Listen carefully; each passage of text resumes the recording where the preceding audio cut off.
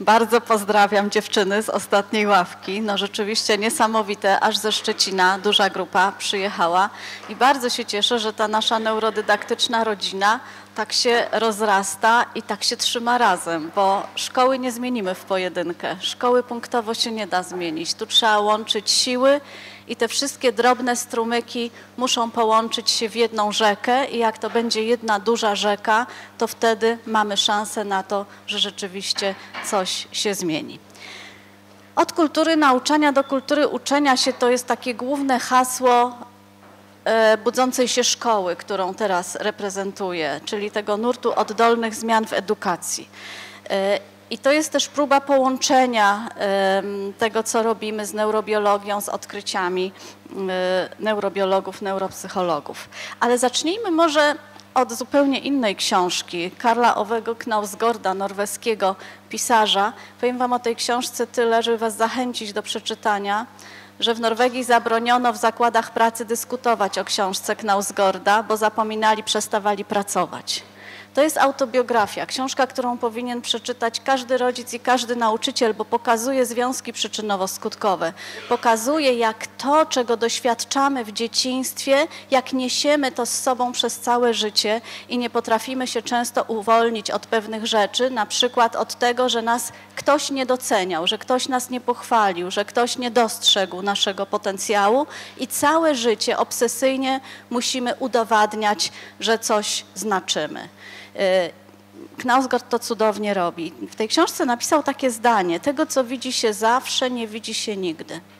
Ja myślę, że to jest powód, dla którego my nie potrafimy dostrzec y, dysfunkcyjności naszego systemu edukacji. Nie potrafimy zauważyć, i nie mówię tylko o polskich szkołach, absolutnie to nie jest tak, że ja mówię o polskich szkołach, to dotyczy systemu edukacyjnego, jaki mamy na świecie. Kup, macie Państwo możliwość kupienia tutaj książek, dobrej literatury również. E, niedawno ukazała się e, książka mm, e, pod tytułem Uczyć się z pasją. Jak się nazywa autorka? Pernille Rip, już, już macie pewnie tę książkę. E, Pernille Rip opisała szkoły, wyjście z tego systemu e, amerykańskiego i zmianę e, modelu.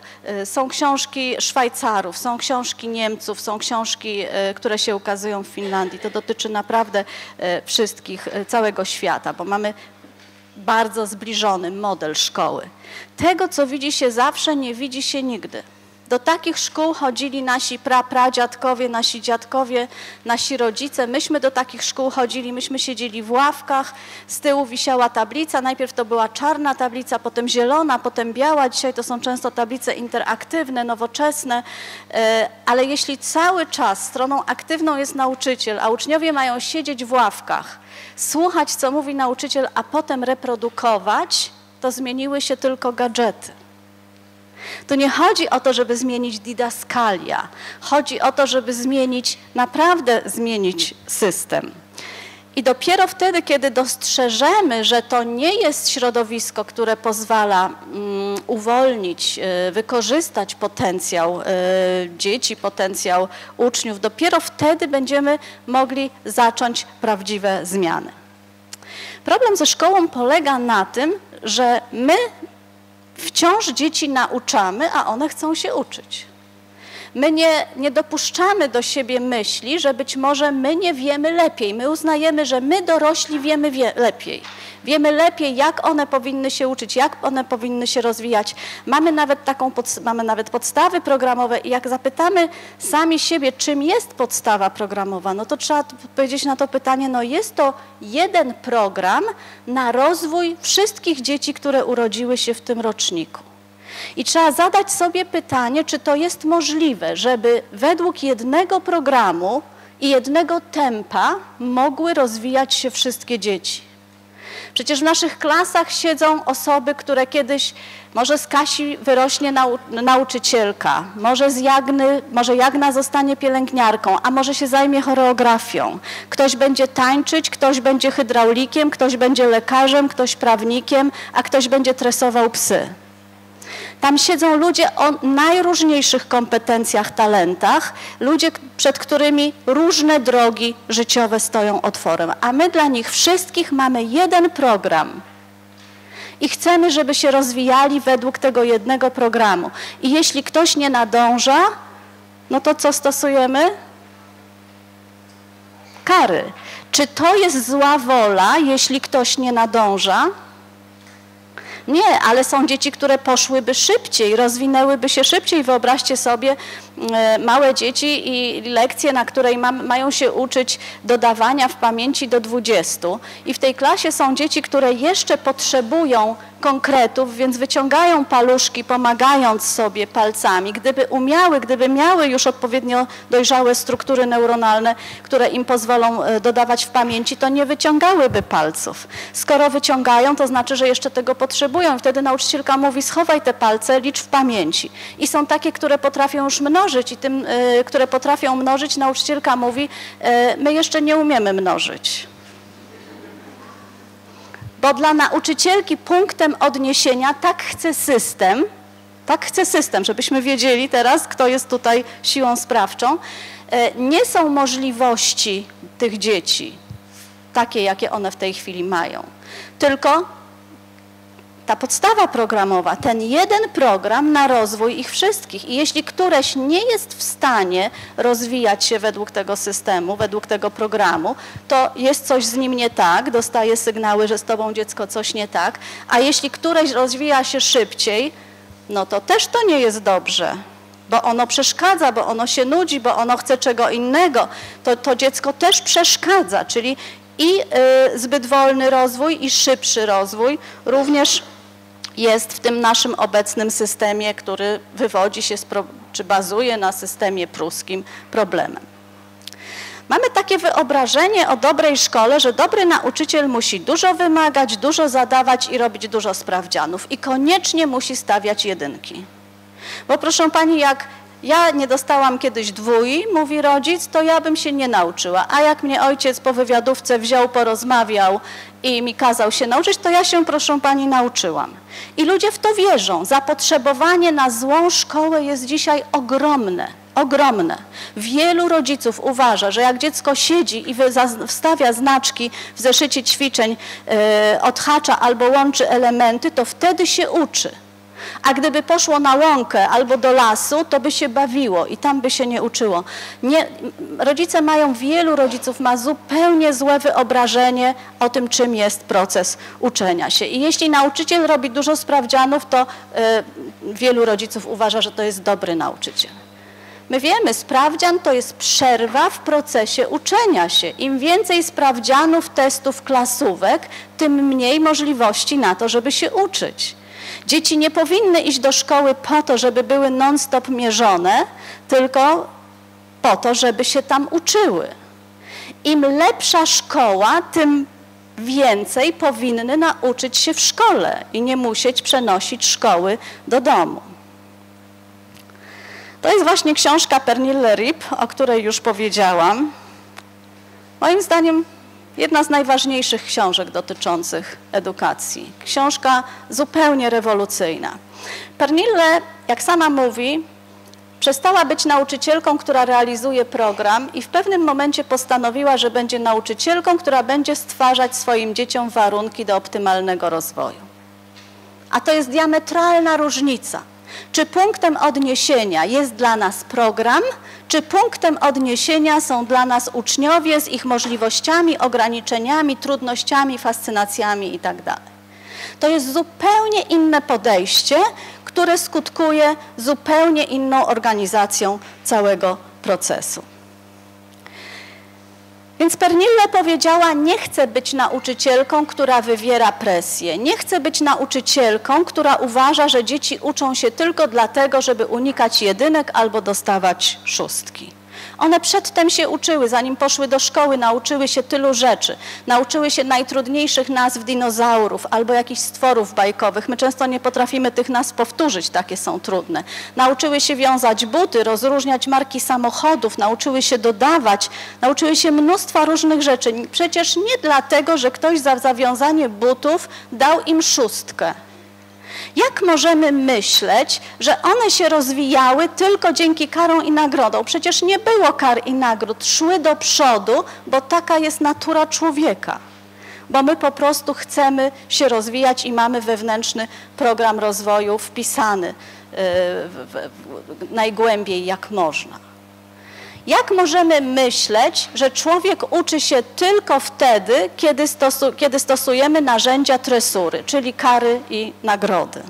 Kiedy każdy z nas ma do czynienia z małymi dziećmi i widzi, jak one się uczą, choć nie muszą, choć nie jest to wymuszane zewnętrznymi karami, nagrodami. To jest cytat z książki Pernille, przeczytajcie.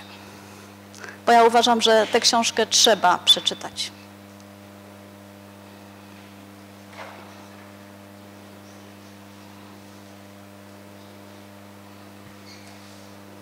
Jeszcze musicie czytać.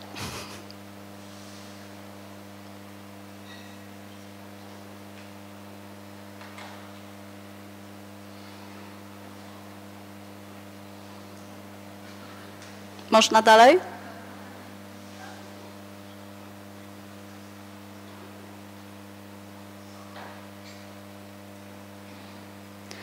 I z dnia na dzień postanowiła, to był koniec roku, kiedy to postanowiła, więc miała wakacje na to, żeby sobie przemyśleć i ustawić inaczej. Dała sobie taki czas, albo zrezygnujesz z tego przedmiotu, albo z tej pracy, z tego zawodu, y, albo będziesz inną nauczycielką i po wakacjach stała się inną nauczycielką. Piszę w tej książce, zapytacie, czy się bałam. Straszliwie nie mogłam spać po nocach. Cały czas się bałam, że jak przestanę straszyć jedynkami, jak przestanę ciągle sprawdzać, mierzyć, zadawać, to przecież nie będą się uczyć. Ale w, głębi serca wiedziałam, że muszę pójść tą drogą. I potem, kiedy już kilka lat swoją nową drogą szła, powiedziała i teraz widzę, że nigdy moi uczniowie nie mogliby osiągnąć tych sukcesów, które osiągnęli i e, być tam, gdzie są, gdybym cały czas to ja mówiła im, co mają robić, gdybym nie uwolniła ich potencjału. To nie tylko jedna Pernille Rip. Ja bym mogła tutaj wiele, wiele, właściwie nie nauczycieli, muszę powiedzieć nauczycielek, bo to są wszystko kobiety, które ja znam bliżej i które poszły e, tą nową 81 w Łodzi, szkoła, z którą tak blisko współpracuję, jest wiele takich nauczycieli. Takich, no też nauczycieli, ale ja najbardziej znam nauczy, najlepiej znam nauczycielki. Ale tu chciałabym powiedzieć o, e, o tym, co zaproponowała Anna Schulz. Dlaczego właśnie o Ani? Bo ona uczy matematyki w liceum. I to jest najtrudniejszy przedmiot, prawda? Dla wielu osób matematyka jest takim problemem i to jest poziom, który kończy się maturą, wobec tego tu już nie ma mm, czasu na to, że jeśli się popełni błąd, to się potem coś nadrobi. Wiele osób mówi, to my możemy sobie coś wypróbowywać na niższych poziomach, kiedy nie ma tej sankcji w postaci e, egzaminu maturalnego. E, a Anna Schulz poszła właśnie tą nową drogą, swoją drogą, wytyczoną e, przez siebie, chociaż korzystała z różnych wzorców e, i wprowadziła takie zasady.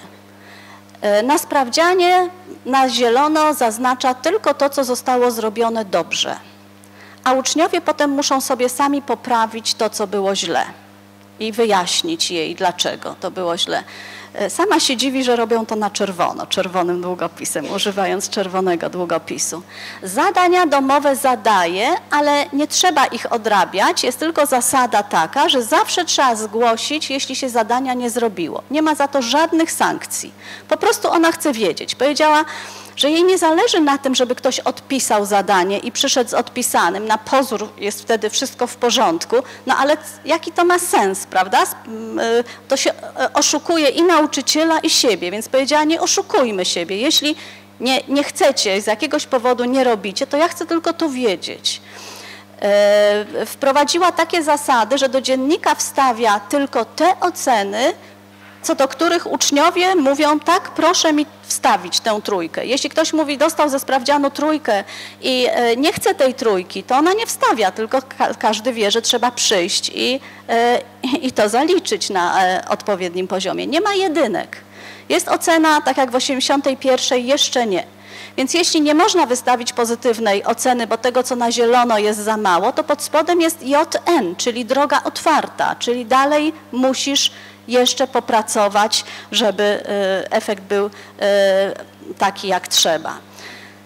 W zeszłym tygodniu Ania do mnie zadzwoniła w czasie przerwy i powiedziała, wiesz co, muszę ci to powiedzieć y, teraz, bo przed chwilą podeszła do mnie dziewczyna, która mi powiedziała, pani profesor, nigdy w życiu nie robiłam tyle zadań, ile robię teraz, kiedy nie muszę. Joachim Bauer powtarza to i pisze to w swoich książkach, które pewnie też tutaj można kupić, co z tą szkołą o motywacji. Wyjaśnia nam, dlaczego musisz zabija chcę. Im większą presję wywieramy, to są ogólne prawa. Im większa presja, tym większy opór. Jak często młodzi ludzie robią coś z przekory? jak często pokażą nam, znaczy nie powiedzą, jeśli e, relacje są takie, że nie mogą tego powiedzieć, to nie powiedzą tego głośno, ale, ale tak naprawdę i tak pokazują nam, że do niczego ich nie musimy zmusić. Mózgu nie można zmusić do uczenia się. I to jest cytat z Anny Schulz. Kiedyś uważałam, że im więcej będę mówić, wyjaśniać, im więcej zadawać, kontrolować i egzekwować, tym lepsze będą wyniki. Jak bardzo się myliłam. To był najskuteczniejszy sposób na zniechęcanie uczniów do nauki. Opowiadała mi również, że teraz, kiedy wchodzi do klasy, to bardzo często uczniowie już siedzą i już są zaangażowani w rozwiązywanie kolejnego zadania, bo oni wiedzą, ile trzeba zrobić. To był jej cel, przenieść odpowiedzialność z jej barków nauczycielskich, przenieść odpowiedzialność na barki uczniów, żeby oni wiedzieli, że to są ich decyzje, ich, y, ich sukces życiowy, ich życie od tego zależy, nie jej. Jeśli by się nam to udało, przenieść odpowiedzialność. Wyobrażacie sobie, o ile lżejsze byłoby nasze nauczycielskie życie. Ja jeszcze ciągle na siebie patrzę jak na nauczyciela, chociaż już od kilku lat nie pracuję jako nauczyciel. Gdybyśmy mogli te małpy, które siedzą na naszych ramionach, przenieść na ramiona uczniów. Ale żeby to było możliwe, żeby oni mogli przejąć odpowiedzialność, to nie możemy ich ciągle prowadzić na krótkiej smyczy. Nie możemy wszystkich decyzji podejmować za nich, bo człowiek, za którego ktoś podejmuje wszystkie decyzje, nie będzie mógł przejąć odpowiedzialności bo to, jest, są, to, to, tak, to, to, to się z sobą łączy. Biorę odpowiedzialność, czyli albo tak się zachowuję, albo tak, ja dokonuję wyborów i ja ponoszę konsekwencje tych moich wyborów. Jeśli nie dajesz mi wyboru, jeśli wszystko za mnie, podejmujesz za mnie wszystkie decyzje, to jak ja mam odpowiadać za swój proces uczenia się? To jest po prostu niemożliwe. Musimy sobie z tego zdawać sprawę, jak długo na, wymuszamy wszystko na naszych uczniach. Nie, nie, proszę Pani, w takim zeszycie, albo nie, nie mówimy, proszę Pani, Pani, w takim zeszycie nie będziesz pisał. I proszę na niebiesko, tak, niebieskim. I zeszyt ma być 32-kartkowy, tak? I kochani, bo to, żebyśmy się rozumieli, tak? Ja potem nie będę tych grubych nosić do domu do sprawdzania, także proszę się dostosować. I tak w tym modelu, w tym modusie często jesteśmy. To jest nie twój zeszyt, tylko ja będę decydowała, jaki zeszyt. To czemu ma się ktoś angażować w zrobienie, prowadzenie tego zeszytu, jeśli ja chcę mu wszystko narzucać? Im bardziej, przez im bardziej się wycofamy z tego narzucania, tym większa szansa, że oni uznają to za swoje, że będą chcieli e, angażować się w to i e, uznać, że to są moje decyzje,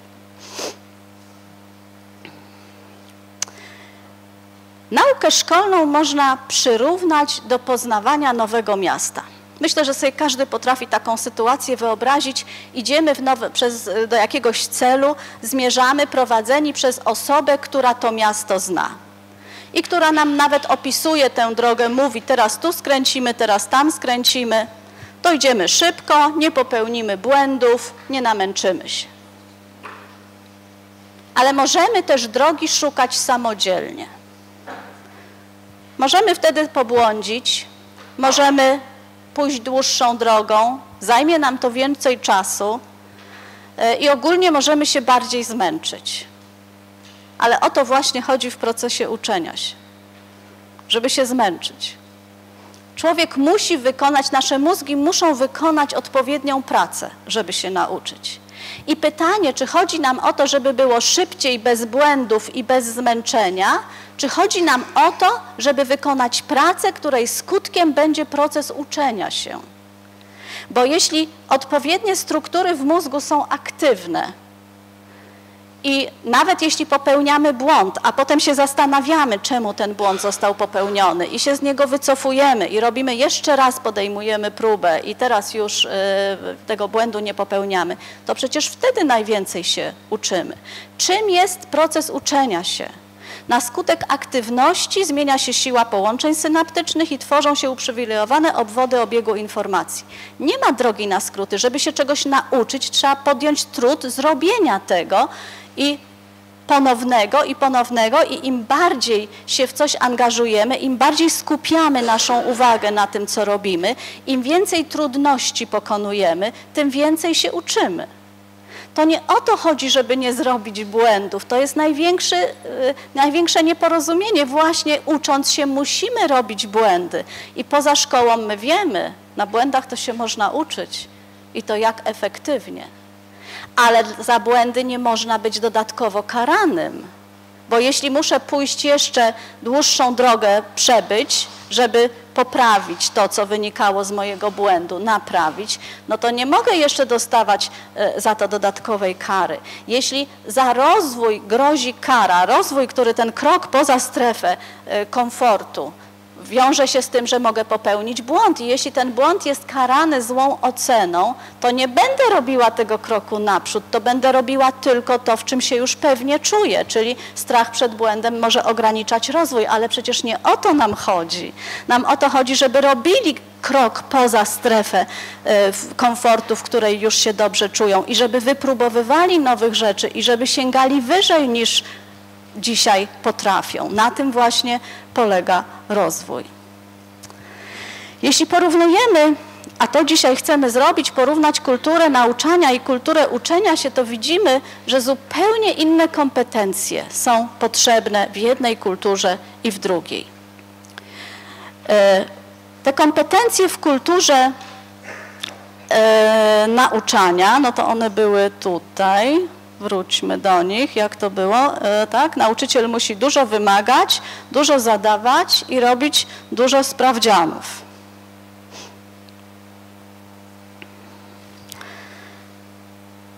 A główne kompetencje w kulturze uczenia się to umiejętność budowania relacji umożliwiających efektywną naukę. To są książki które tutaj możecie kupić. Książki Joachima Bauera, to są książki e, profesora Geralda Hütera, którzy e, opowiadają o tym, jak ważne są relacje, dla, czy jakość relacji, dobrych relacji dla efektywności, mm, czy wpływ relacji na efektywność procesu uczenia się.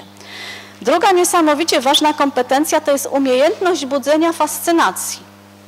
Jeśli przyjdę na lekcję, i sama sobą pokazuję, że to nie jest nic ciekawego, że po prostu muszę w biurokratyczny, formalny sposób przeprowadzić następną lekcję i mówię, dzień dobry kochani, kogo dzisiaj nie ma? Dlaczego ty się dziecko śmiejesz? A co takiego śmiesznego? W szkole jesteśmy. Kogo dzisiaj nie ma? No właśnie, widzę, że Michała znowu nie ma. No oczywiście. Kto nie odrobił zadania domowego? No właśnie, widzę. Dlaczego Magda znowu nie odrobiłaś, a zmieściła ci się tam książka oprócz kosmetyków do torby dzisiaj? Bardzo śmieszne, kochani, bardzo to wszystko śmieszne. Wiecie, kiedy test będziecie pisać? I to nie będzie dla was śmieszne, dla mnie też nie. Więc bardzo proszę, skupcie się teraz. Tak, wam to postawić kole, włączyć muzykę i wyjść, kochani, bo wy jesteście tak zainteresowani, ale dziś będą zaimki dzierżawcze albo wielomiany, albo typy wulkanów. Tu możemy, prawda, różne e, tematy. I jeśli sama sobą pokazuję, że to nie jest ani nic ciekawego dla mnie, ani nie mam żadnych pozytywnych oczekiwań, no żeby się różne struktury z sobą komunikowały, no to mózg musi uwalniać neuroprzekaźniki. No, jeśli coś tam nawet było, było jakieś takie oczekiwanie, że dziś coś będzie ciekawego, Albo w ogóle pierwsza lekcja. Wyobraźcie sobie, przychodzą uczniowie na pierwszą lekcję, na przykład w tym roku fizyka w podstawówkach, prawda? W siódmej klasie pojawiła, pojawił się nowy przedmiot, fizyka. I uczniowie na pewno szli na tę lekcję fizyki z takim oczekiwaniem, no co to będzie, coś ciekawego, coś innego, yy, nieznanego, fascynującego. I mogłam zacząć tę pierwszą lekcję od tego, że podałam, podałam im regulamin. I proszę się skupić, bo mamy 49 punktów w regulaminie i na koniec wszyscy będą musieli podpisać, że przyjęli do wiadomości. A potem zrobię test diagnostyczny, bo muszę wiedzieć, co wy tam z matematyki w głowach macie, co wy będziecie, no bo muszę zobaczyć na jakim poziomie Także najpierw ten regulamin szybko musimy omówić, a potem test diagnostyczny. Ale mogę przyjść na tę pierwszą lekcję fizyki i nie zaczynać od regulaminu i testu diagnostycznego, tylko mogę zacząć od tego, dlaczego ten przedmiot jest taki fascynujący. Przecież to jest, jeśli ja uczę fizyki, a tak jest w przypadku nauczyciela fizyki, bo ja nie uczę fizyki i nigdy nie uczyłam, ale w przypadku nauczyciela fizyki, to przecież to jest droga jego fascynacji. On wybrał, poszedł na fizykę, bo go to interesowało, bo go to ciekawiło i teraz może po prowadzić młodych ludzi drogą własnych fascynacji. No przecież to jest piękne. Mogę zacząć od tego, co dzięki temu będziecie rozumieli, co dzięki temu będziecie mogli zrobić, o ile będziecie mądrzejsi, jakie to jest ciekawe, jakie to jest, prawda? Mogę od tego zacząć. I jeśli teraz patrzymy na mózg z punktu widzenia neurobiologia. Joachim Bauer w swojej książce mówi nam, potrzebna nam jest dziś neurobiologia szkoły, żebyśmy rozumieli, żebyśmy zaczęli rozumieć te związki przyczynowo-skutkowe, że jeśli zaczynam od tego, kochani, to regulamin, tak? Punkt pierwszy. Jakie będzie B na takie moje A, co się będzie działo w mózgach, co się uwalnia, co się nie uwalnia, czy ten mózg chce pracować, czy nie, czy może układ nagrody zostaje pobudzony, kiedy zaczynam od regulaminu, czy dopamina się uwalnia, tak? która taka jest pożądana. E, a co się dzieje, jeśli zaczynam od tego, jaki to fascynujący przedmiot? Dlaczego ja poszłam na fizykę? Dlaczego e, się tym zainteresowałam? E, I że teraz jestem pewna, że będziecie również tak zainteresowani jak ja, bo to jest niesamowite rozumieć te wszystkie zjawiska, które nas otaczają. I kolejna kompetencja, umiejętność tworzenia środowiska zachęcającego do nauki i przygotowanie zadań umożliwiających wszechstronny rozwój. Bo to, jaką pracę wykonają mózgi uczniów na danej lekcji, zależy od nas, nauczycieli. Zależy od tego, jakie zadania, jakie aktywności dla nich przygotujemy. Jeśli przygotowaliśmy dla nich test diagnostyczny, to nie nauczyli się niczego nowego. To, byli, to były tylko narzędzia pomiaru, byli mierzeni. A od samego mierzenia jeszcze nikt nie urósł, a jak wiemy, wielu straciło motywację. Pewnie już znacie to zdanie. Jeśli potrafię zaplanować zadania, które pomogą uczniom z tego poziomu wejść na poziom wyższy, czyli wyjdą z moich lekcji coś więcej rozumiejąc, coś, coś więcej potrafiąc, to znaczy, że dobrze wykonałam swoją pracę. To znaczy, że ten czas spędzony na moich lekcjach był e, czasem dobrze wykorzystany. O tym, co teraz mówię, o tych zależnościach, o właśnie książka Joachima Bauera, e, co z tą szkołą, wypalone dzieci, e, która też mówi o relacjach i o tym, jak, się, e, jak samopoczucie e, przekłada się. Zupełnie nowa książka, tak jak Pernille miesiąc temu wydana. Ale książka, książki, dwie książki e, Geralda Hütera, który właśnie też nam wyjaśnia, jak neuroprzekaźniki, które w mózgu się uwalniają na skutek różnych bodźców, jak wpływają na efektywność uczenia się. No i oczywiście książka Szpicera, która była taką pierwszą książką, która się w języku polskim ukazała i która zbierała wiedzę o mózgu, no i moja, która też już nie jest najnowsza, e, która również e, pozbierała te rzeczy, które do tamtego roku były, mm, się ukazały. Cytat z zupełnie innej bajki. Ćwicz rozum, lecz rusk nie stosuj na mózg. Hüter w swojej książce Wszystkie dzieci są zdolne wyjaśnia, czemu to zdanie jest prawdziwe. A to zdanie pochodzi z wiersza czarownicy z książki Wiatr z Księżyca Erika Linkratera, którą w, e, w głębokim socjalizmie czytały również polskie dzieci. E, I ten wiersz czarownicy zawiera wiele mądrości, również takiej, którą dzisiaj potwierdzają neurobiolodzy. Ćwicz rozum, lecz mózg, rusk nie stosuj na mózg. A my wiemy, że z niewolnika nie ma robotnika.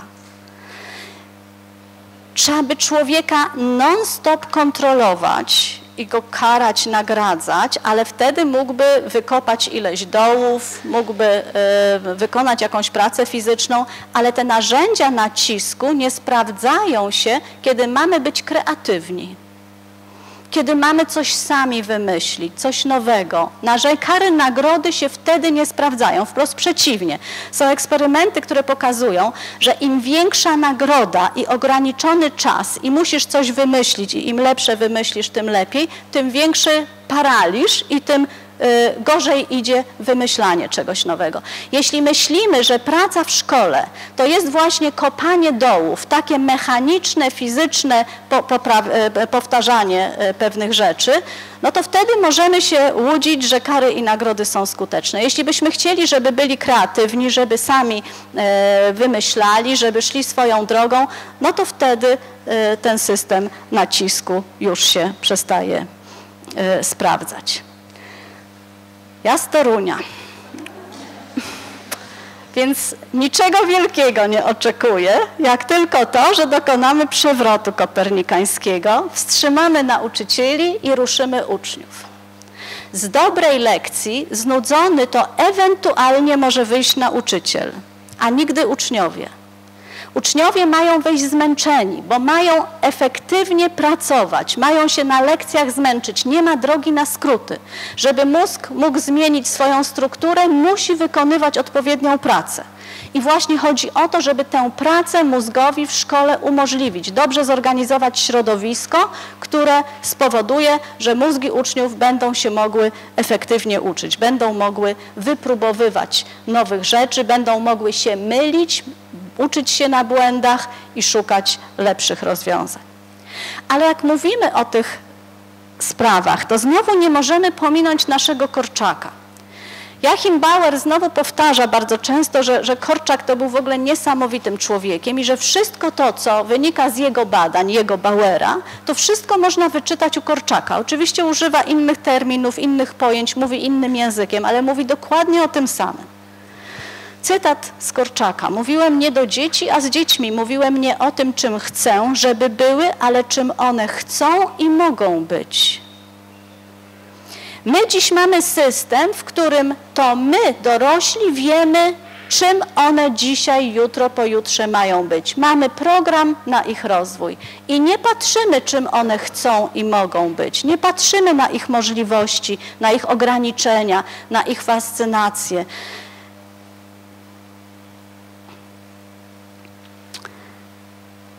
I jak długo nie zaczniemy patrzeć na szkołę, na dzieci, na uczniów oczami takich ludzi jak Korczak, tak długo nie dostrzeżemy i nie będziemy umieli odpowiedzieć sobie na pytanie, czy ta, ten model szkoły, który dziś powtarzam, na świecie mamy, czy jest modelem dobrym dla dzieci, czy dobrym dla nas dorosłych. Czy dzieci Przecież one się cieszą, że pójdą do szkoły. Przecież wiele nie może, z nich nie może się doczekać. Odliczają dni, ile jeszcze zostało. Bo wiedzą, że tam pójdą do szkoły i będą mogły się uczyć, a dla nich to jest właśnie coś radosnego. Uczyć się to jest najlepsza rzecz na świecie, jaka może im się zdarzyć. To jest to, co daje im tyle radości, bo rozwój daje radość. Nam, ludziom, rozwój daje radość. Pamiętacie, jak nauczyliście się jeździć na rowerze? Ja pamiętam, jak się nauczyłam dzielić z resztą. Na pierwszej lekcji, co już tak się coś wyliczyło, to znowu trzeba było zero dodać i znowu dalej i mnie się wydawało, że się tego nigdy nie nauczysz, to jest za trudne, że to mnie przerasta. A na drugiej lekcji już mi to wszystko składnie szło i te wyniki były takie jak trzeba i szłam do domu skacząc przez kałużę i śpiewając sobie umiem liczyć z resztą. Nikt mi nie powiedział, że ja świetnie to robię. Nikt nie, nie dostałam żadnej oceny. Po prostu liczyłam i to mi wychodziło. I to mi dało taką radość, że ja to do dziś pamiętam. Tak? Radość z tego, że umiem dzielić z resztą. A myślałam, że to jest takie trudne, czyli lepiej niż się spodziewałam. Tak? To o tym pisze e, e, Szpicer, kiedy tłumaczy, kiedy ta dopamina się e, tak dobrze uwalnia w naszych mózgach. Jak długo nie zrozumiemy, że dzieci nie zostały stworzone do uczenia, przez, e, do uczenia się przez siedzenie i słuchanie. Ukrzesłowienie dzieci jest tym, co generuje problemy. Jeśli ile energii musimy włożyć w to, żeby siedziały i słuchały? I znowu Możemy tu wymieniać y, długą listę neurobiologów, którzy mówią, nasze mózgi nie są narządem przystosowanym do reprodukowania danych, ale do przetwarzania danych i wyciągania z nich ogólnych reguł. Powtarza to w swojej książce, niemal w każdej książce, właściwie wiele razy w każdej książce y, profesor Gerald Hütter, neurobiolog z Getyngi.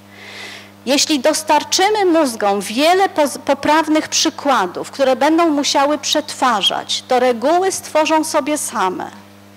A my co robimy? To też już mówił nam Pierze. Wszystko, co robimy za dzieci, zabiera im możliwość zrobienia tego samemu. A odkrycie pewnych prawidłowości jest nie tylko tym, do czego nasz mózg został stworzony, ale co, co daje nam satysfakcję, co powoduje, że ten układ nagrody zostaje pobudzony, że mamy właśnie to, to cudowne odczucie, żeśmy czegoś dokonali, coś tam zrozumieliśmy, poszliśmy dalej. I ta czereśnia, którą człowiek sam zerwie, zawsze smakuje lepiej niż ta, którą ktoś nam wciśnie do buzi, bo on wie, że to jest dla nas dobre. Bo my sobie wybierzemy taką, która nam smakuje. Nie zmienimy szkoły, jak długo nie zaczniemy dostrzegać dzieci, ich potrzeb, pragnień, talentów, możliwości, fascynacji, emocji. Jak długo będziemy wiedzieli, że nie musimy patrzeć na dzieci, nie musimy zastanawiać się, jakie emocje powstają po stronie uczniów, kiedy ja mówię A, regulamin.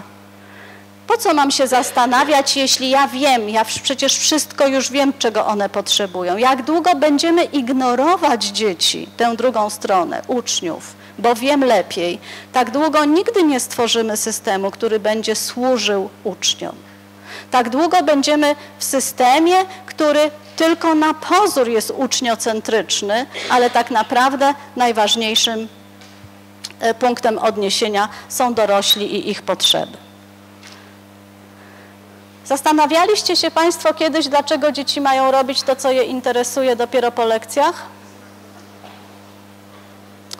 Motywacja jest pochodną ciekawości poznawczej to, co budzi naszą ciekawość, y, jeśli możemy podążać za naszą ciekawością, to to pozytywnie się przekłada na motywację wewnętrzną.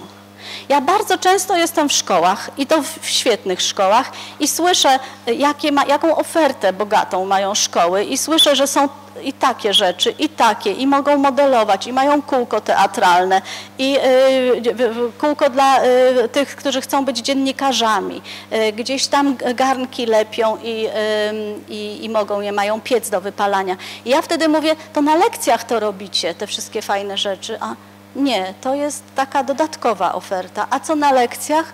No lekcje jak to lekcje, trzeba, każdy tam jakoś prowadzi. Sercem szkoły są lekcje. Jak długo nie zmienimy sposobu, w jaki uczniowie uczą się na co dzień, tak długo nie zmienimy szkoły. Ja też często się spotykam z ludźmi, którzy mówią, proszę pani, pani takie rzeczy opowiada, my to już dawno robimy. Co robicie? No na przykład projekty. A ile tych projektów robicie? No w każdym semestrze. To mówię, to procentowo ile to jest godzin, ile to jest, jaki to jest procent całego procesu uczenia się?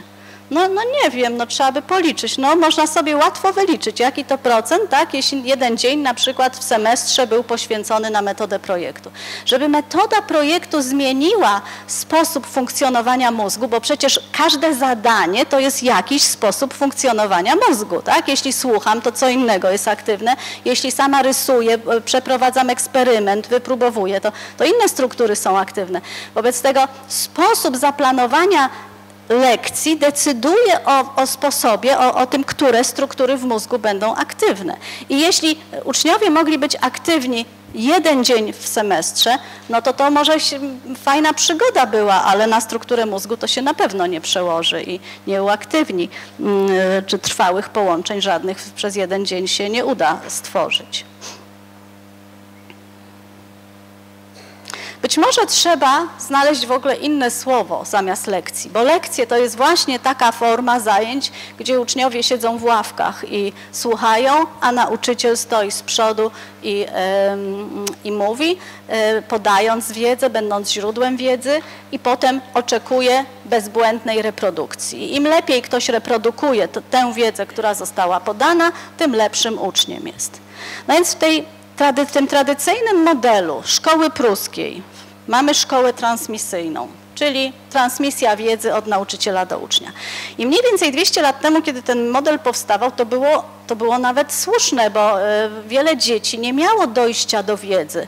E, na książki, na czasopisma, które wtedy już się pojawiały, mogli sobie pozwolić tylko najbogatsi. Jeśli czegoś się człowiek nie dowiedział w szkole, to być może nie dowiedział się nigdy. Tak? Dzieci z wielu tych z biedniejszych środowisk nie miały dostępu do wiedzy. Dziś sytuacja się diametralnie zmieniła. My żyjemy z kompanii w informacjach, w informacyjnej lawinie. Dostęp do informacji, do wiedzy jest nieograniczony a my cały czas tkwimy w tym modelu, że źródłem wiedzy ma być nauczyciel. No my musimy nauczyć ludzi wykorzystywać informacje, do których można dotrzeć. I nie o to chodzi, żeby Ctrl copy, Ctrl V zrobić, tylko żeby przetwarzać te informacje, zdolność wykorzystania informacji, które są na wyciągnięcie ręki.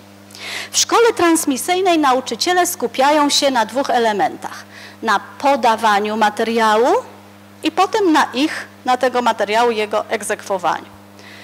Jeśli proces uczenia się byłby prostą pochodną procesu nauczania, to najlepsze wyniki mieliby szybko mówiący nauczyciele. Trzeba było tak szybko, szybko, szybko powiedzieć i wszyscy by wszystko umieli.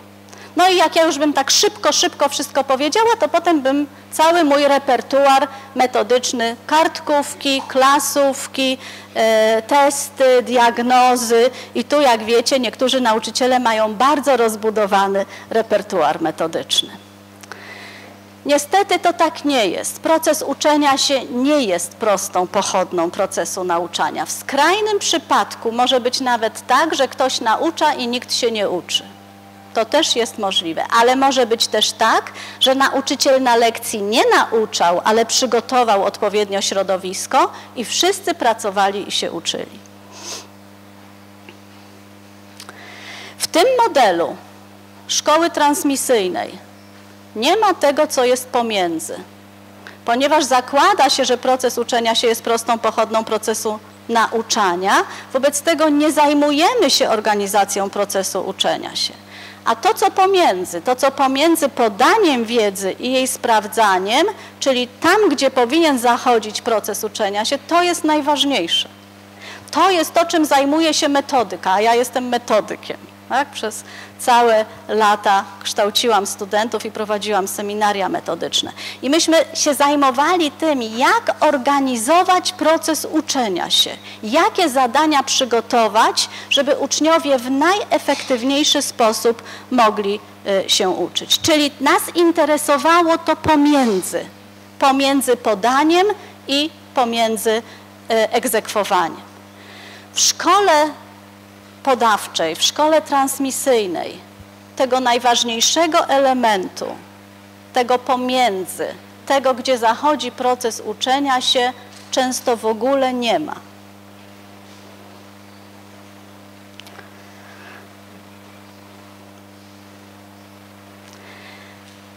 Był taki amerykański psycholog Jerome Brunner, napisał książkę, która również ukazała się po polsku, poza dostarczone informacje. Jerome Brunner wyjaśnia w tej książce, jak zachodzi proces uczenia się i jego zespół badał uczniów tych najlepszych i tych wcale nie najlepszych. I okazało się, że uczniowie, którzy mieli najlepsze efekty, nie potrafili wychodzić poza dostarczone informacje, czyli zatrzymywali się na reprodukcji wiedzy. Byli świetnymi, świetni w reprodukcji Natomiast ci, którzy byli często słabsi na tych testach, które w Stanach się narodziły, prawda, ten cały system testocentryczny, e, którzy byli słabsi, to byli często ci, którzy potrafili wychodzić poza dostarczone informacje. Czyli nie chodziło o czystą wiedzę, tylko o zdolność jej zastosowania. Nie ile wiem, ile potrafię zakreślić, ale co potrafię zrobić z wiedzą, którą posiadłam czy posiadłem. Czyli jak wyjść poza dostarczone informacje. Jak długo zatrzymujemy się na tym etapie, że trzeba tylko reprodukować, tak długo nie rozwijamy kompetencji. Bo kompetencje to jest właśnie zdolność wykorzystania informacji do konkretnych e, celów.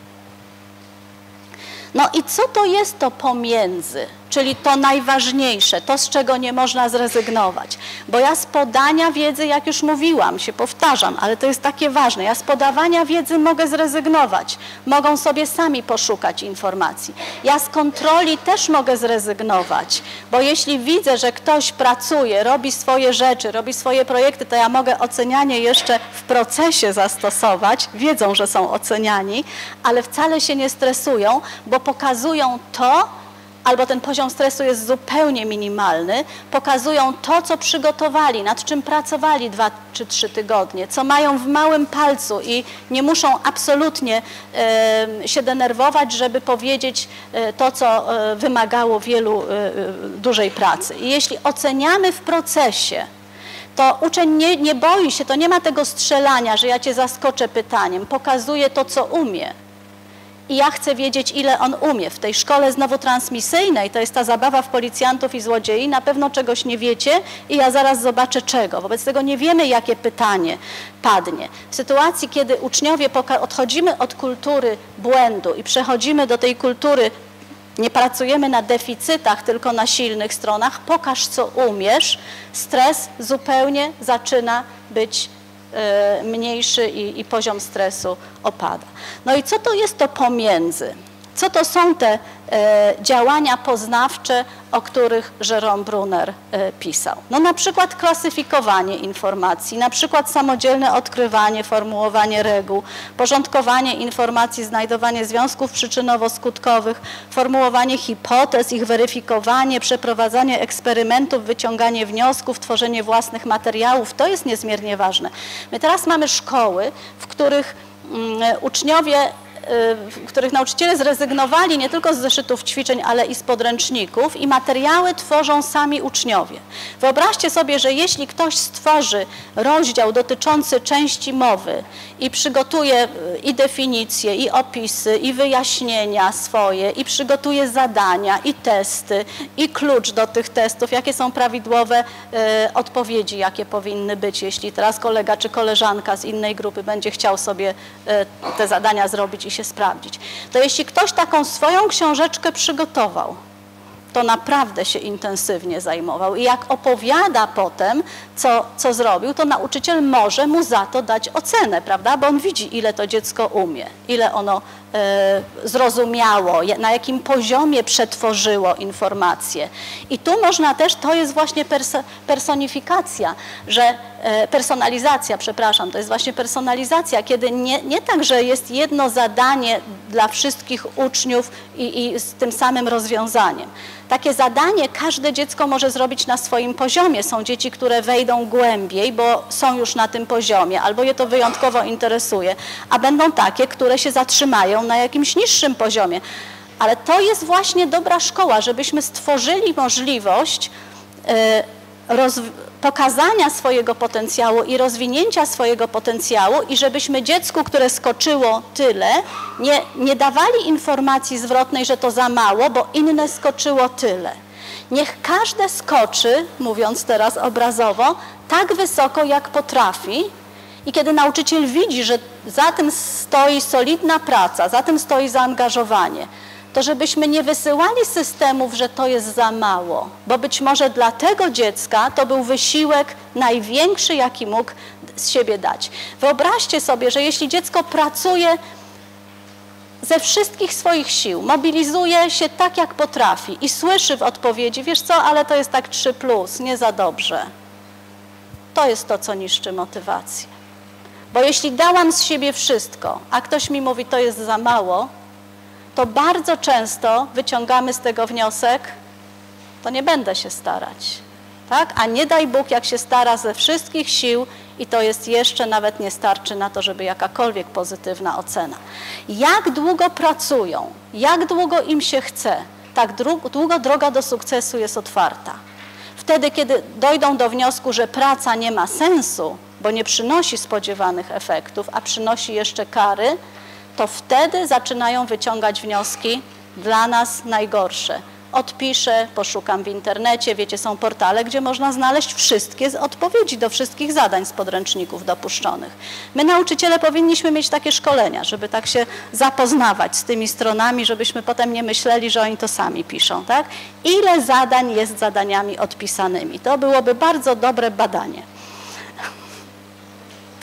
Ale wyobraźcie sobie, mówiłam o tym, co jest właśnie tym pomiędzy, co jest tą intensywną pracą mózgu, która pozwala na to, żeby człowiek mógł powiedzieć, że się czegoś nauczył. Wyobraźcie sobie, że czytamy tekst w podręczniku i musimy wyciągnąć najważniejsze informacje. Prawda? Albo napisać streszczenie, albo z boku napisać hasłowo, o czym ten fragment był. To ja się muszę skupić, żeby teraz dobrze to zrozumieć i żeby krótko ująć. I co w wielu podręcznikach mamy? To jest właśnie wytłuszczone. Nie musisz się zastanawiać, jaka informacja jest najważniejsza. Nie myśl, nie męcz się, my ci to na tłuste. Będą czytać tylko to, co tłuste. No przecież nie o to chodzi, żebyśmy my im uniemożliwili proces uczenia się. Chodzi o to, żeby to uczniowie musieli tę pracę wykonywać. Jak jeszcze pracowałam ze studentami, to bardzo często robiłam na początku, y, kiedy przychodziła nowa grupa, chciałam się przekonać na y, poziomie, to prosiłam, żeby mm, przeczytali jakieś opowiadanie czy nowelę i napisali streszczenie. Umiejętność napisania streszczenia pokazuje, że człowiek umie wyciągnąć najważniejsze informacje. Ale kiedy umie wyciągać najważniejsze informacje. Wtedy, kiedy wiele razy to robił. To jest trudna kompetencja. Nie da rady komuś opowiedzieć, jak się pisze streszczenie i jak się odróżnia informacje ważne od mniej ważnych. Trzeba to po prostu samemu wiele razy zrobić. I na przykład jeśli rozwiązuje testy receptywne, reproduktywne, teraz mówię jak metodyk, tak? zaznaczam ABCD albo wstawiam łęd tam, gdzie miał e, zamiast bezokolicznika go, e, to to jest najpłytsze przetwarzanie. To ja się wtedy nie uczę, to mogę sobie latami robić takie zadania, odmierzenia się nie rośnie. Ale jeśli ja sama układam takie, taki test, takie zadanie, i muszę wyciągnąć teraz przykłady, żeby było ileś czasowników regularnych, ileś tam czasowników nieregularnych, patrzę, czy, to, czy tu są wszystkie reprezentatywne, czy w tym zadaniu są wszystkie ważne przykłady, to wtedy się uczę, bo wtedy selekcjonuję, wtedy kategoryzuję, wtedy porównuję. Im więcej uczniowie zrobią sami, tym więcej się nauczą. Nie ma drogi na skróty. Jeśli patrzymy na to, co robiła Maria Montessori, Celestyn Frenet, Friedrich Frebel, czy autorka planu daltońskiego Helen Parkhurst, można by tu dużo wymieniać kolejnych innych. Oni nie zajmowali się tym, jak podać wiedzę i jak ją mierzyć i sprawdzać. Oni zajmowali się tym, co pomiędzy. Maria Montessori opracowała całe zestawy, to samo dotyczy Frebla, tych darów freblowskich. E, oni opracowali całe oprzyrządowanie, przedmioty, narzędzia, pomoce naukowe, które pozwalają dziecku zrozumieć, które pozwalają dziecku poprzez manipulowanie poprzez e, przetwarzanie właśnie tych różnych bodźców zmysłowych, bo to przecież nie chodziło tylko o słowa, chodziło o to, żeby uruchomić inne struktury, inne części mózgu, które są aktywne, kiedy czymś manipulujemy. Żeby dzieci dochodziły do pewnych wniosków, żeby mogły odkrywać, żeby mogły się intensywnie uczyć. I dzisiaj neurobiolodzy, to co wszystko piszą, to w zasadzie wszystko pokazuje, że właśnie ci ludzie mieli rację, że ci reformatorzy edukacji, którzy nam pokazali, jak organizować w efektywny sposób, jak organizować proces uczenia się, że oni szli dobrą drogą. Cały czas to są nurty edukacji alternatywnej. Dlaczego to, co najlepsze, ma być tylko dla wybranych grup dzieci? Dlaczego nie, my powinniśmy korzystać, my powinniśmy uczyć się od tych mistrzów, takich jak Montessori, Frebel, tak? I można tutaj znowu wymieniać. Dlaczego nie uczymy się przenosić tych technik, tych narzędzi do naszego warsztatu metodycznego? Bo my dobrym nauczycielem człowiek jest nie wtedy, kiedy repertuar metodyczny ma po stronie kontrola wiadomości. Dobrym nauczycielem człowiek jest wtedy, kiedy ma duży repertuar metodyczny pomiędzy, czyli tam, gdzie zachodzi proces uczenia się. No i trzeba by to też umieć odróżniać zada zadania, mm, od, y, odróżniać zadania, ćwiczenia od narzędzi pomiaru. Im głębsze przetwarzanie, tym, tym lepiej nowe treści zapisywane są w strukturach pamięci. Są zadania, które nie są ćwiczeniami. Na warsztatach często robimy takie ćwiczenie, że przychodzą nauczyciele ze swoimi zeszytami ćwiczeń i analizujemy, ile z tych zadań to są ćwiczenia, a ile to są narzędzia pomiaru. I nie chcę Wam tu mówić, ale to często nie wychodzi zbyt y, pozytywnie. Co zrobić, żeby mieć zadania wymagające głębokiego przetwarzania? To nie o to chodzi, żeby nauczyciele siedzieli po nocach i robili zadania, bo to uczniowie mają pracować. To nam powiedział, to już nam napisał Szpicer w tej swojej książce, która w Polsce, jak uczy się mózg po polsku przez PWN została wydana w 2007 roku, ale w oryginale ukazała się w 2002. Czyli to jest wiedza jeszcze w zasadzie z poprzedniego y, stulecia. I Szpiecer nam w tej książce napisał, sadzamy dzieci przed pustymi talerzami i każemy im jeść. Zamykamy je w klatkach i każemy im biegać. Tak opisał szkołę. I można by powiedzieć, jak to przesadza, jak to zamykamy w klatkach i każemy biegać. No ale tą swoją książką wyjaśnił, co przez to rozumie. A jak się potem czyta kolejne e, książki, to rozumiemy. Jest amerykański e, e neurobiolog John Medina, który powiedział wprost, że gdyby chcieć sztucznie stworzyć system, który możliwie efektywnie blokuje procesy uczenia się, to byłoby to coś na kształt naszych dzisiejszych szkół. Musimy zacząć to dostrzegać, jak dzieci chcą się uczyć poprzez własną aktywność i jak my dzisiaj, przez to, że ciągle je nauczamy, a popatrzcie, jaka jest klasyczna metodyka, mówię teraz jako metodyk. Czego uczymy się na metodyce? Pamiętacie pisanie scenariuszy lekcji? Pamiętacie progresję? Pamiętacie, jak miały być zadania receptywne, reproduktywne, reproduktywno-produktywne, jak co do minuty mieliśmy zaplanować, co uczniowie mają mówić, robić? To neurobiolodzy Hütter mówi, no Orwell by tego nie wymyślił. To jest najlepsza droga do niszczenia motywacji. My ludzie nie jesteśmy istotami zewnątrz sterownymi. My jesteśmy istotami autonomicznymi. My, my chcemy być traktowani poważnie. Jeśli dostaniemy zadanie, to chcemy sami e, zdecydować, jak z tym zadaniem e, sobie poradzić.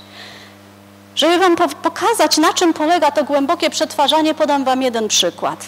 Wyobraźcie sobie lekcję historii, mamy mówić o okresie wojen napoleońskich, no i nauczyciel opowiada, podaje fakty, dane, pokazuje na mapie, jak armia napoleońska się przemieszczała, gdzie dochodziło do bitew, jak się skończyły, e, kto naprzeciwko siebie stawał.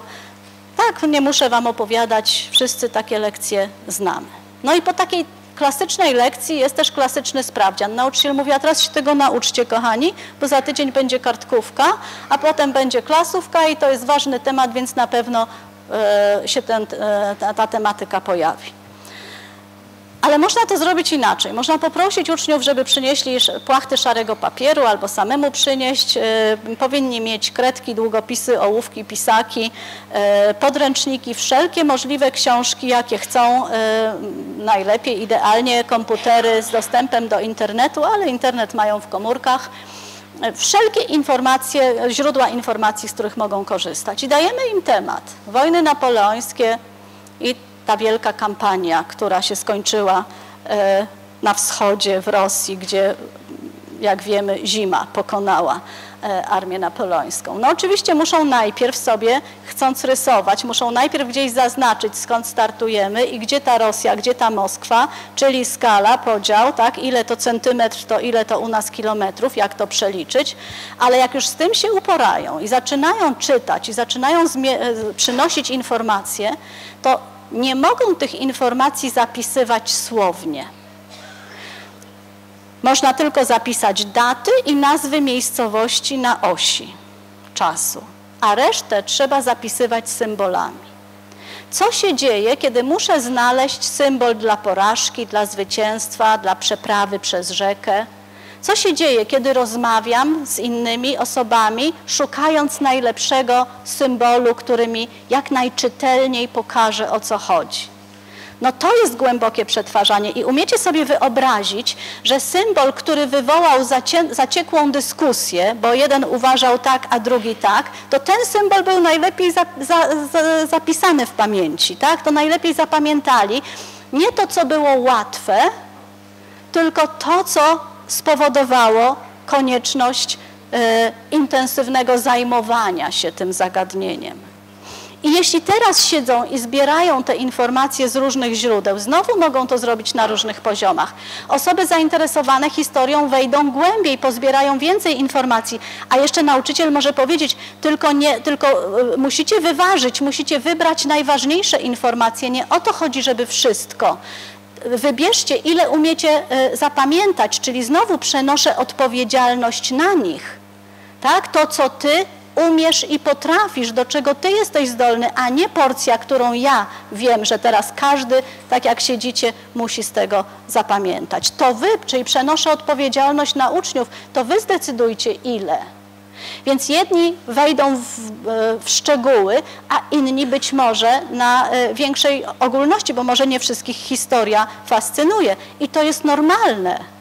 I to powinno być normalne. W dobrej szkole nie powinniśmy nigdy żyć, dzieciom życzyć samych szóstek. Przecież to jest nieludzkie. My powinniśmy im mówić, nie musisz być dobry ze wszystkiego, ale powiedz, z czego chcesz być dobry. Popatrzcie, ilu dzisiaj uczniów kończy e, szkołę, kończy liceum, zdaje nawet ze świetnym wynikiem maturę i nie wie, w którą stronę dalej pójść.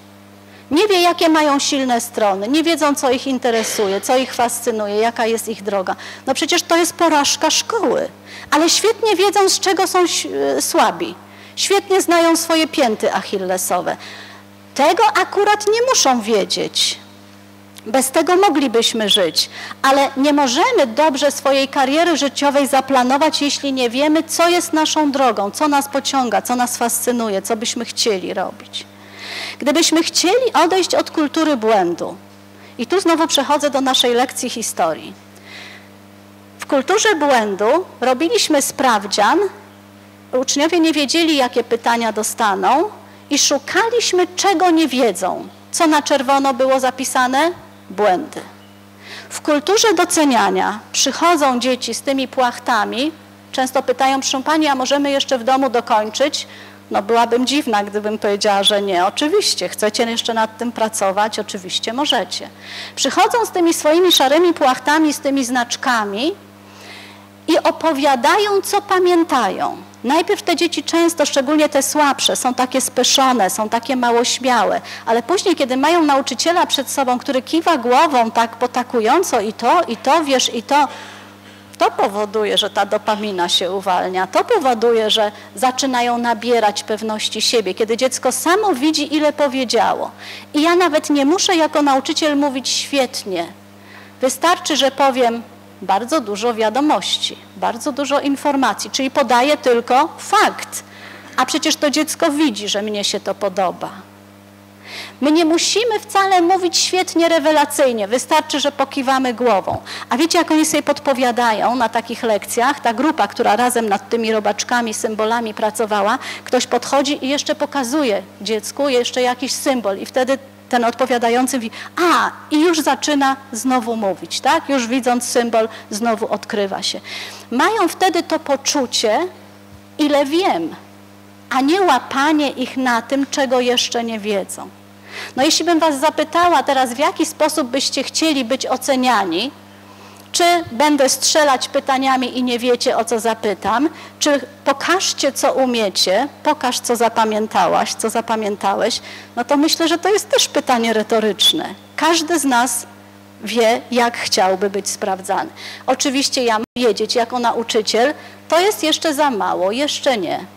Jeszcze musisz się douczyć, bo uważam, że jakieś minimum jest i to nie było to minimum. Mogę to powiedzieć, ale nie zamykam drogi. To nie jest jedynka. Tak? Jeszcze uważam, że albo innym powiedzieć, jakich najważniejszych informacji zabrakło w tym, co teraz Mateusz nam opowiedział. I znowu mogą dzieci podsunąć, powiedzieć dlaczego, jakie informacje, które były ważnymi i co się dzieje. W czasie takiego sprawdzianu oni się cały czas uczą. Bo na przykład możemy powiedzieć, patrzcie, czy ważnych informacji waszym zdaniem w tych prezentacjach nie zabraknie.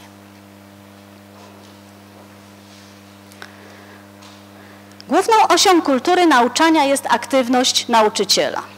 Przyjmuje się, że jeśli coś zostało na lekcji omówione, wyjaśnienie, to uczniowie muszą to wiedzieć. I po czym widzimy, że takie właśnie założenie jest przyjmowane. Popatrzcie, jak często nauczyciele na wywiadówkach mówią do rodziców, do mamy, proszę pani, gdyby Jaś spokojnie siedział i słuchał, to by wiedział. No ale jeśli nie siedzi i nie słucha, no to nie umie. Czyli nauczycielka zakłada, że proces uczenia się jest pochodną słuchania. Skoro nie słucha, to nie umie. Albo ja wszystko na lekcji wyjaśniłam. Wszystko było powiedziane. Albo trudno, żeby umiał, jeśli na lekcji nie słucha.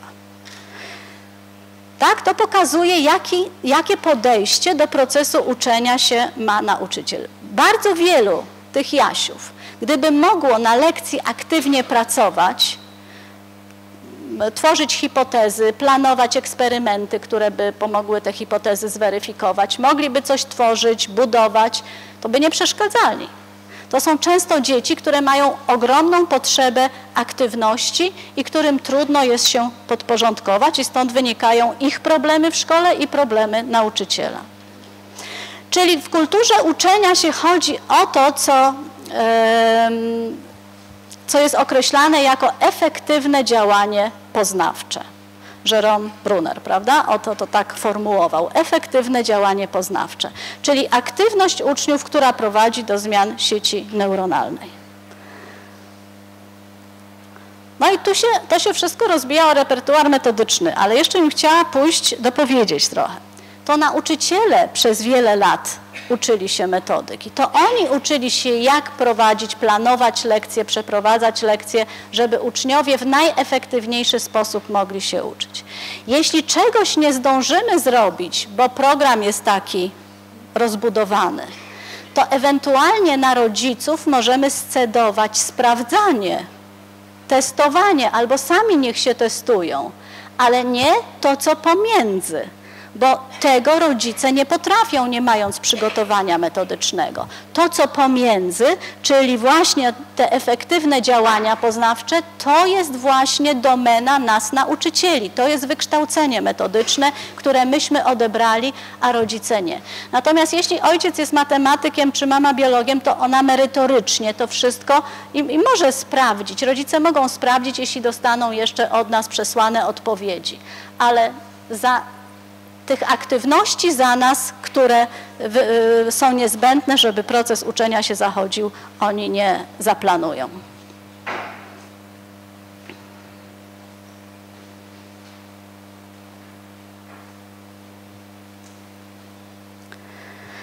No i to już też mówiłam, że im więcej testowania, tym mniej czasu na naukę. Musimy sobie z tego zdawać sprawę. Teraz w erze e, ogólnych diagnoz, Odwiedzili nas ostatnio znajomi z synem, który teraz jest w drugiej klasie i e, Kuba, myśmy rozmawiali, a Kuba pytał o szkole zresztą i Kuba poprosił o e, papier, kartkę papieru, kredki i coś tam się zajął. No to my zadowoleni byliśmy, że nie przeszkadza.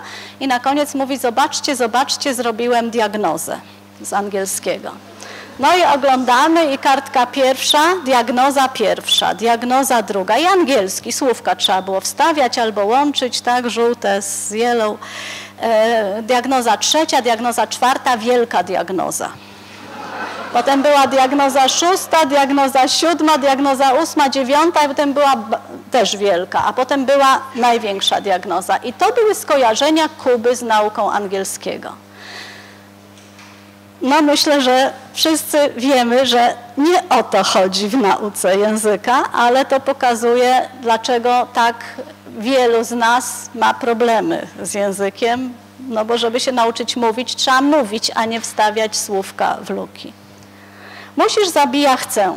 To jest również mm, e, takie krótkie hasło, które, e, które pokazuje, e, że jeśli, mamy motyw- jeśli cały czas pracujemy na motywacji zewnętrznej, to ta motywacja wewnętrzna ginie. Są takie bardzo wyraźne i, i myślę bardzo czytelne eksperymenty, które przeprowadzano już w latach 70. ubiegłego stulecia na przedszkolakach. Dwie grupy przedszkolaków siedzą w sali z lustrem weneckim. E, To był czas, kiedy pojawiły się kredki świecowe, więc to był nowy rodzaj kredek, jeszcze interesujący dla dzieci. Nauczycielka, która rozdawała dzieciom kartki papieru, każdy dostało papier, dostało e, pudełko kredek i nauczycielka mówi, to rysujcie sobie, narysujcie jakiś rysunek, a za najlepsze rysunki, najładniejsze dostaniecie e, nagrody. I wychodziła. I badacze przez lustro weneckie y, obserwowali dzieci, patrzyli jak długo rysują. Druga grupa to samo. Nauczycielka wchodzi, rozdaje kartki papieru, rozdaje kredki i mówi rysujcie sobie. I wychodzi. Która grupa dłużej rysowała? Druga. Nagrody odciągają uwagę od samego rysowania, od samej aktywności, która sama w sobie była ciekawa, bo dzieci lubią rysować, dzieci lubią odkrywać, dzieci lubią się uczyć. Jeśli nauczymy, że za wszystko, co i tak lubią robić, dajemy im nagrody, no to wtedy mamy to, co mamy, tak? To nie możemy się dziwić. No i trzeba by przejść Rubikon, przestać narzucać uczniom wszystko, przestać ich obsługiwać. My dzisiaj za mocno myślimy, że wszystko zależy od nas nauczycieli. Za bardzo koncentrujemy się na tym, co my możemy dla uczniów zrobić, a powinniśmy, tu wracam do przewrotu kopernikańskiego, powi- powinniśmy zacząć się zastanawiać trochę tak do siebie oszczędniej, kochani, oszczędniej. To nie, my nie możemy zrobić, my nie możemy spowodować zmian w strukturze neuronalnej uczniów. To ich praca każdego pojedynczego dziecka prowadzi do zmian sieci neuronalnej. Więc musimy zacząć organizować im tak pracę, żeby w najefektywniejszy sposób mogły się uczyć, jednocześnie nie stresując się nadmiernie. Jak będzie ten lekki stres taki, który dam sobie radę, nie dam rady, ale jak nie dam sobie rady, zrobię błąd, nie będzie dramatu, bo po prostu będziemy o błędzie rozmawiać, to wtedy zdejmujemy z nich ten, tę zbyt dużą presję, która kiedy osiąga y, wyższy poziom, po prostu blokuje wyższe funkcje poznawcze. No i popatrzcie na te zdjęcia. A po co wysyłamy dzieci do szkoły? W kulturze nauczania e, wysyłamy po to, żeby wszystko to, co jest w podstawie programowej, znalazło się w głowach dzieci. Tak, to jest proste. E, Czyli wszyscy mają robić to samo i w tym samym czasie. No i popatrzcie zdjęcia z dzisiejszej szkoły i ze szkoły nieco starszej. Wieloma rzeczami się różnią, ale czy w istocie swojej, to co jest fundamentem procesu, który zachodzi w szkole, mocno się różnią?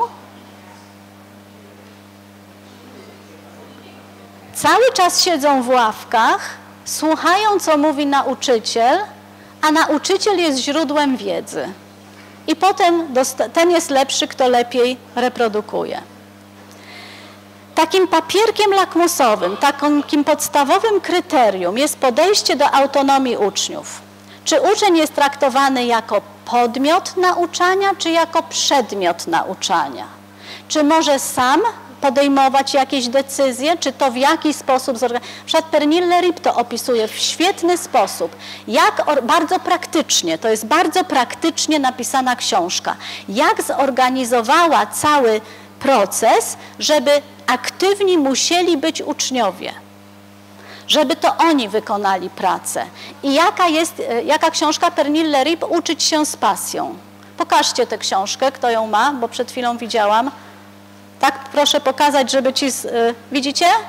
To jest ta książka. Polecam wam ją z czystym sercem. Nie pożałujecie. To jest książka, która nie tylko zmienia myślenie y, o tym, nie tylko zdejmuje z nas strach, a nie tylko dostarczy argumentów w dyskusji z rodzicami, którzy uważają, że ich dzieci bez jedynek się nie nauczą, ale ta książka daje mnóstwo gotowych inspiracji, jak tę kulturę uczenia się tworzyć a się zainteresowali książką Pernille, to dobrze. I wiecie, co jeszcze w tej książce jest? Tam na końcu, ja myślę, że to jest jedna piąta albo może jedna czwarta książki, to są gotowe ankiety, które pozwalają nauczycielowi dowiedzieć się ważnych rzeczy o uczniu. Bo jak ja mam dobrze zaplanować ich pracę, jeśli ja ich nie znam, jeśli ja nie wiem, nie mam podstawowych informacji? Tam są gotowe ankiety i Pernille mówi, korzystajcie z nich, zmieniajcie je jak chcecie, dostosowujcie do swoich potrzeb, ale wykorzystajcie to, bo w kulturze nauczania nie interesuje nas, jacy są poszczególni uczniowie. To jest też logiczne. Po co się mamy interesować, skoro wszyscy mają zrobić to samo? To jest tak, jakby był jakiś model ucznia w Sewr i ten program jest dla tego jednego ucznia, ale wszyscy są tacy sami.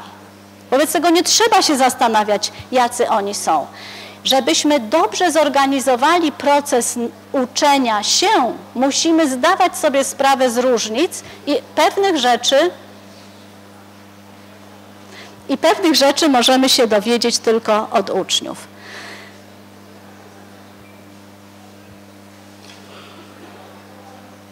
Chciałabym Wam jeszcze na koniec powiedzieć o takim porównaniu Joachima Bauera, lekarza, neurobiologa, który mówi, ludzki mózg to nie segregator. Do segregatora ja sobie mogę wpiąć wszystko, co chcę, każdą kartkę, segregator mi nie powie nie. Ale ludzkie mózgi mają mechanizmy selekcji informacji.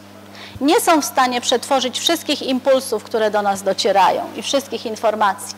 Wobec tego selekcja informacji jest koniecznością. Nasze mózgi selekcjonują, czym się będą zajmować, a czym nie.